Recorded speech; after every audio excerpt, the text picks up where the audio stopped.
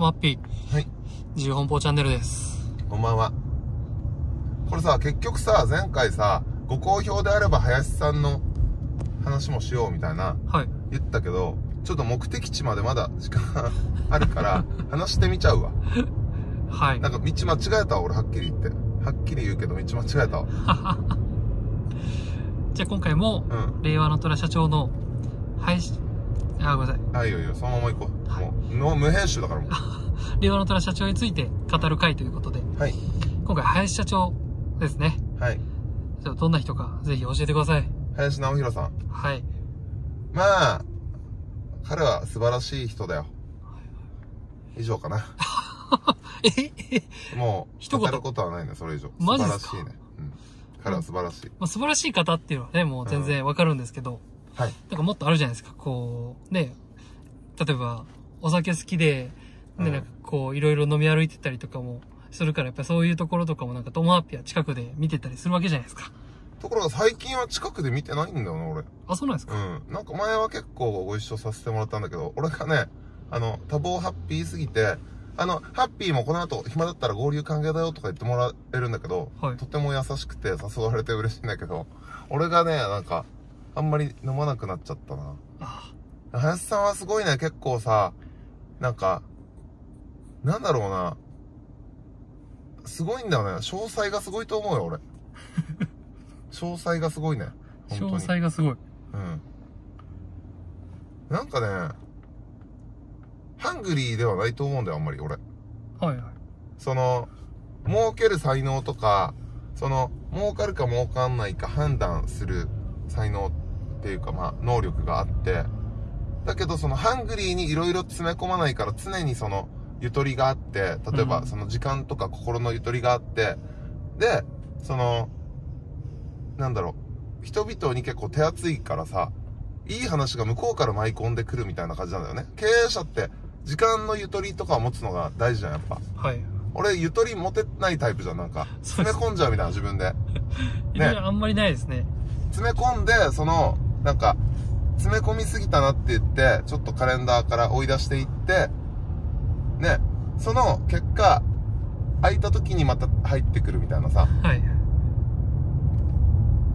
まあなんか、ある意味去年、ガラッとしてさ、一回さ、少し。伸び伸びチャレンジしてたら結局もう一番窮屈になっちゃったじゃん、今。はい。まいあ特に今はか。新しいカードは落ち着かんからっていうのもあるけど。はい。林さんはね、なんかその、やんちゃな詰め込みしないから、その、常に人に手厚いし、その、やっぱり、 one for all がすごいからさ、なんか、一見その、なんだろう、あの人はすごいお金使いすぎじゃないかみたいな声とかもあるっていうか、心配になっちゃったりするんだけど、周りが。うんうん。それってでもその、人に喜ばれるようなことに使ったりするし結構、まあ飲みとかも結構おごってくれたりとかさ。で、なんか、人に喜ばれまくってるから、その、林さんが喜ぶような、あるいはお互い喜べるような話がビジネスで舞い込んできて、それを対応する余裕もちゃんとも持ちながら過ごしてるんだよね。すごいですね。だからその、全然、その、なんだろう、ビジネスパーソンというか経営者とか、人としてのその、スタイルが全然違うんだけど、うんあっちの方があるべき姿じゃねって思ったりもするね、俺は。だからその、どっちでもいいと思うの。好みもあるし、得て増えてもあるし、はい。ただその一貫性があるのよ、林さんのスタイルって。うん。だからすげえリスペクトしてるよ。俺、できないもん、それ。ただ B2B のビジネスか、B2C のビジネスかっていうのでも結構変わって、B2C のビジネスっていうのはつまり、その B2C のビジネスそのもので1対他をやんなきゃいけないから、当然その、稼働とか手数とかさ、判断要素が増えるけど、うん。B2B っていうのはその、いくつかの深い相手とさ、大きくやることが多いから、その、深い相手、大きい相手と、こう、やるっていうことはさ、その、その分その、なんだろう、忙しい中で雑な対応になっちゃいけないっていうのはあるじゃんね。うん。だからその、重要なことを重要なタイミングで、しっかり話したりして決めれるとか、普段からこうご飯とか行けるっていうのは、まあ B2B の方が生きるよね、それはね。1対、なんか1対少数なのか1対超多数なのかっていう違いうん。みたいなのは結構あるかな、その経営者としてのスタイルとの連動性っていうか。うん。まあ、でかいよ、人間が、林さんは。怒んないしね、全く。そうですね。怒ってるところも。全く怒んない。全く怒んない。これね、学習塾業界の正当後継者とか言って PV に出てたじゃん、前。もともと学習塾系でさ、はい。まあ、教育系でさ。でもその、岩井先生の正当後継者かって言ったら、パだいぶそのパーソナリティっていうかさ、キャラは違うよね。だいぶ違いますね。うん。まあその、お二人とも誰とも結構違うっていう、その、感じだけど、はい。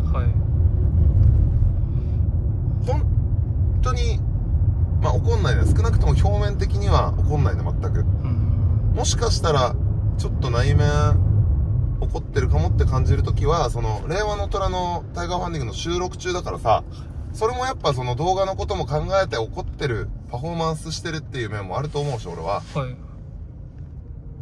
なんか、すごいよね。俺の方が怒るね。俺もだいぶ怒んないじゃん。はい。俺のが怒るね俺のが怒るわ、多分。その、うん。でもか怒カんないけどねメラで撮。ってないところでもうん。怒らないんですか？全く怒んないね。ああ。全く怒んないランキング、令和の虎1位じゃない？え林さんは。えわからんけど。全く怒んないね。俺も高いと思うよ、ランキング。てか、全く怒んない人ばっかだね。当たり前か。経営者同士絡んで怒んないか。怒り損みたいな考えがあるからね、基本ね。根本みんな。ねまあ、感情的になるのはね、あんまりよくもないところも多いですから。うん。基本怒り損みたいなとこあるかな。ええ、なんか、林さんってどんなイメージ？えもう温厚で、温厚だよね。はい間違いない間違いない。結構その、例えば令和の虎とかだと、うんその、志願者の方をこう、フォローしてあげながらこう喋ってるようなイメージがありますね。なんかこう言いたいことを汲み取りながら、こう話されて、で、その答えを引き出すみたいな。前そうだったね。いや、なんかね、前は、志願者の味方的に立ち回ることが多かったし、その、相当こう、ゆるくお金出してくれる社長って感じだったんだけど、はいめちゃめちゃ変わったわ。あ、そうなんですか？この1年ぐらい違うわ。なんか、なんだろう。フォワードミッドフィルダー、ディフェンスみたいなのいるとするじゃん。はい。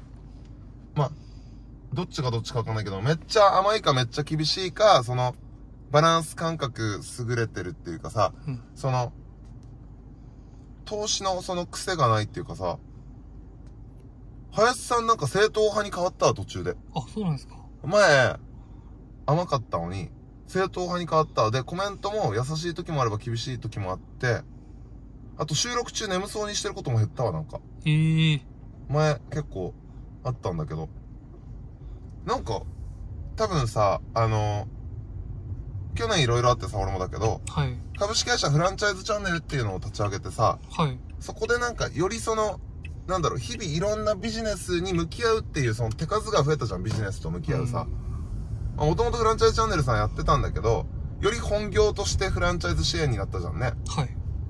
だから、それによってその意識が変わったのか、なんか商売人のスイッチが入ったのか、うん。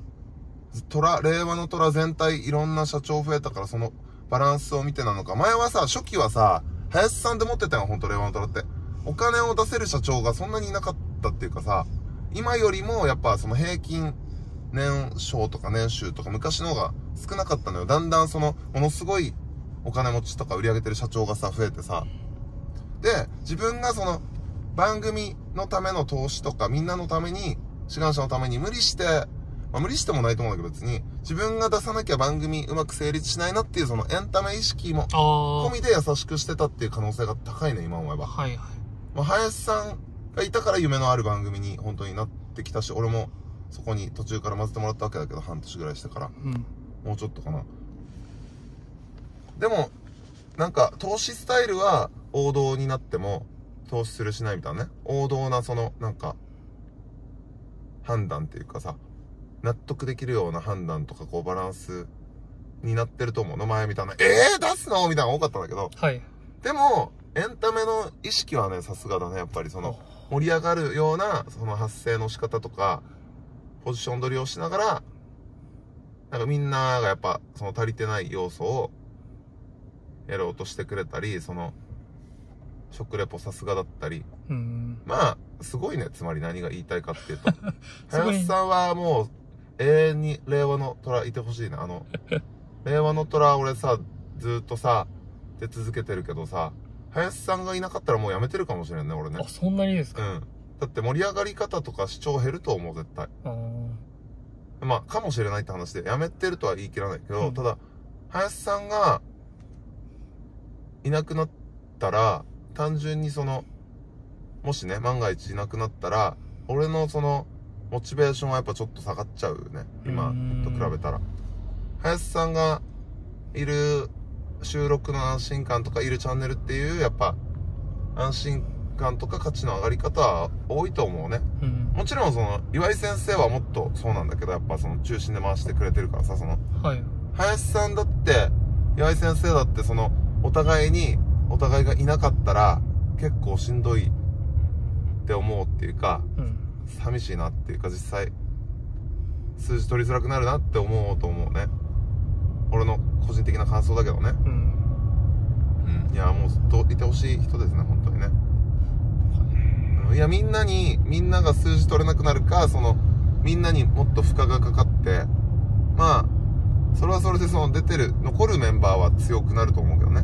はい。うん。いや、相当林さんは最重要トラですね、本当にね。